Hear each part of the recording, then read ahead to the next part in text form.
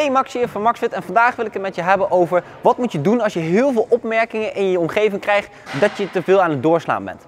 In principe heb je hier twee opties voor wat je kan doen. Want je gaat sowieso opmerkingen krijgen als je echt lekker bezig bent en je gaat echt een groot resultaat neerzetten. Mensen gaan het zien, mensen vinden er wat van. Maar optie 1 is, laat ze lekker lullen. Je bent er voor jezelf. Je doet het ook echt voor jezelf. Jij wilt veranderen, jij hebt de stap genomen, dat is fantastisch. Want jij bent degene die elke dag met je lichaam om moet gaan.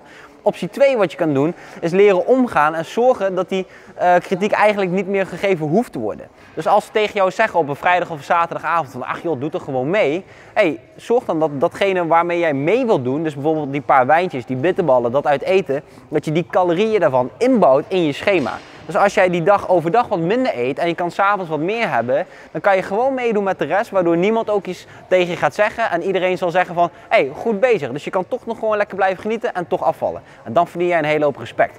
Uiteraard moet je het voor jezelf doen, maar het is wel belangrijk dat jij een manier vindt die prettig is voor jou en waar jij het makkelijk bij vol kan houden.